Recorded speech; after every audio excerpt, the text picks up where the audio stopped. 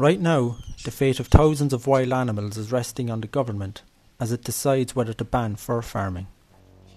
What are conditions like on Irish fur farms? And why are the farms hidden behind tall fences, barbed wire, and laser towers? What is the industry trying to make sure nobody sees?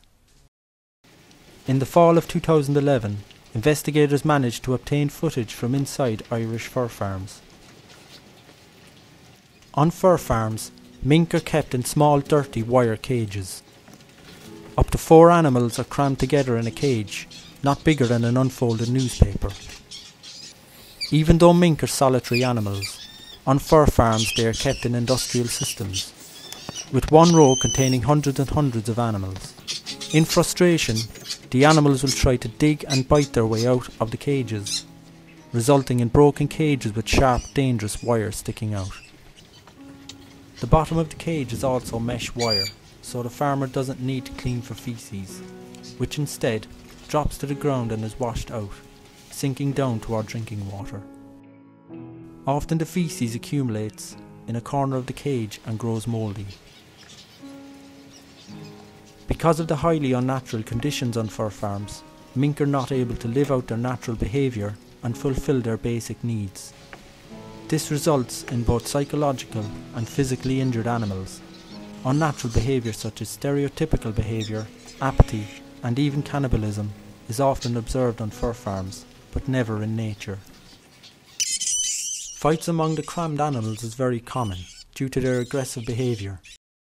In nature, grown minks only tolerate other mink during mating, but in the tiny cages there's no possibility to keep territory, and so violent fights occur, often resulting in bites and even deaths. The investigators found numerous animals with wounds during their visit. This mink suffers from a severe bite to the tail. There's no signs of the wound being treated. This mink was trying to protect the bloody piece that used to be a tail by letting it hang down the bottom wire but the fresh blood proves that there's nowhere to run or hide in the cage. This mink suffers from severe bite wounds on the tail. It will be in pain from these untreated wounds until the day it is killed for its fur.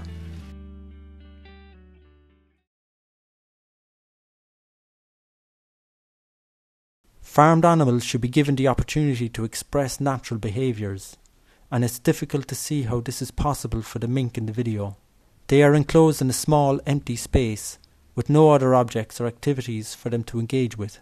This is likely to create serious ongoing stress.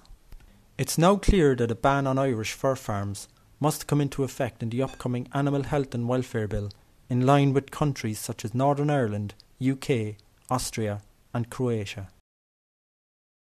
This latest expose on Irish mink farms shows that yet again, with the very best intentions in the world, Animal welfare cannot be met, and Ireland needs to ensure that these farms are closed down as a matter of urgency.